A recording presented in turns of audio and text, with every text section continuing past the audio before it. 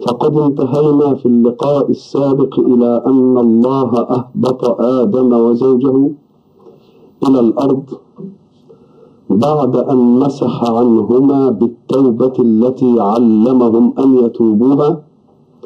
آثار عصيان آدم أو نسيانه. ليستقبل حياته في الأرض استقبالا نظيفا بخير بغير فزع يفزعه مما أقدم عليه من معصية. وبهذا تكون المسألة قد انتهي منها انتهاء لا رجعة فيه لأن الله سبحانه وتعالى لا يرجع فيما وهب. وأراد الحق سبحانه وتعالى أن يعلمنا أن آدم حين يهبط إلى الأرض سيتلقى من الله منهجا لحركة حياته. فإن اتبعه فإنه لا خوف عليه ولا حزن. وعلمنا أن ذلك مرده إلى أمور الدنيا وإلى أمور الآخرة. والحق سبحانه وتعالى حينما يعطي الإنسان ممثلا في أبيه آدم منهجا إنما اختار له المنهج الذي يقوم صنعته لتكون أجمل ما تكون الصنعة في نظر الصانع. وكل صانع كما نعرف يحب أن تتميز صنعته بالتفوق والإتقان والجمال. وقلنا إن الحق سبحانه وتعالى بين في آية أخرى أن من تبع المنهج أو من اتبع المنهج لا يضل ولا يشقى ومن يعرض عنه فإن له معيشة ضنكا ويحشره ربه يوم القيامة أعمى. وقلنا يجب أن نفهم أن الضنك في المعيشة ليس معناه الفقر المادي الذي يتمثل في مقابله الغنى ولكنه قد يكون غنى ولكن النفس ضيقة بأشياء كثيرة تفسد عليها الكمالات التي تتأتاها في الملكات الإنسانية. وبعد ذلك قلنا إن الحق سبحانه وتعالى أراد أن يعرض علينا موكب الرسالات فاختار في أول سورة نزلت من القرآن بعد قصة بدء الخلق في آدم اختار قصة بني إسرائيل لأنها أحفل القصص بالمثيرات ولأنها أخذت الحيز الضخم في كتاب الله وفي تثبيت قلب رسول الله وقلب السابقين معه على الإيمان.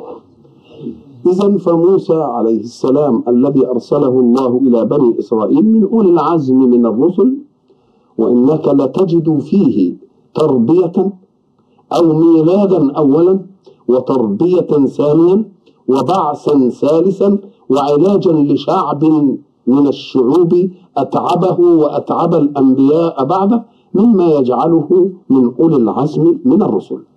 وإنك تجد أن الحق سبحانه وتعالى حينما يخاطب وينادي مثلا يقول يا بني آدم لماذا يخاطبنا نحن ببنوتنا لآدم؟ أن هذا الخطاب في ذاته ليواجه المخاطبين بالنعمة الأولى عليهم في أنه أوجد أباهم من عدم. إذا فكأنها تذكير بالنعمة الأصيلة لنا. يا بني آدم يعني اذكروا كيف خلقت آدم واذكروا أيضا كيف كرمته وعلمته واذكروا أيضا كيف أسجدت الملائكة له رمزا لتسخير ما في الوجود لخدمته. واذكروا إذ أهبطته إلى الأرض بمنهج قيم يضمن له حركة حياته. اذكروا كل ذلك. فحين يقول يا بني آدم فكأن كلمة آدم ستوحي إليك بكل هذه المعاني.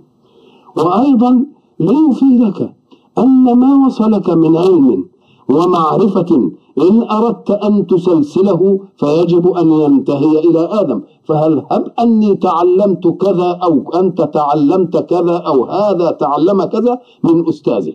وأستاذه تعلمه ممن؟ من أستاذه. وأستاذه تعلمه ممن؟ من أستاذه. سلسل ذلك فسينتهي كل تعليم إلى معلم لم يعلمه أحد. إذا فقول الله يا بني آدم إشعار بجماع هذه النعم كلها في آدم. لأنك قد تغرر وصلني عن آبائي وصلني عن قومي وصلني عن أهلي وصلني عن أساتذتي. لا رد ما وصلك عن أساتذتك وعن أهلك وعن قومك إلى من قبلهم. ورد من قبلهم إلى من قبلهم فستنتهي المسألة إلى آدم. وآدم ممن أخذ يجب أن تنتهي إلى أنه أخذ من الله. قل له لا سلسل كل نعمة في أي جهة من جهاتها فستنتهي إلى آدم. ثم قل وممن أخذ آدم فستقول قطعا أنه أخذه من الله.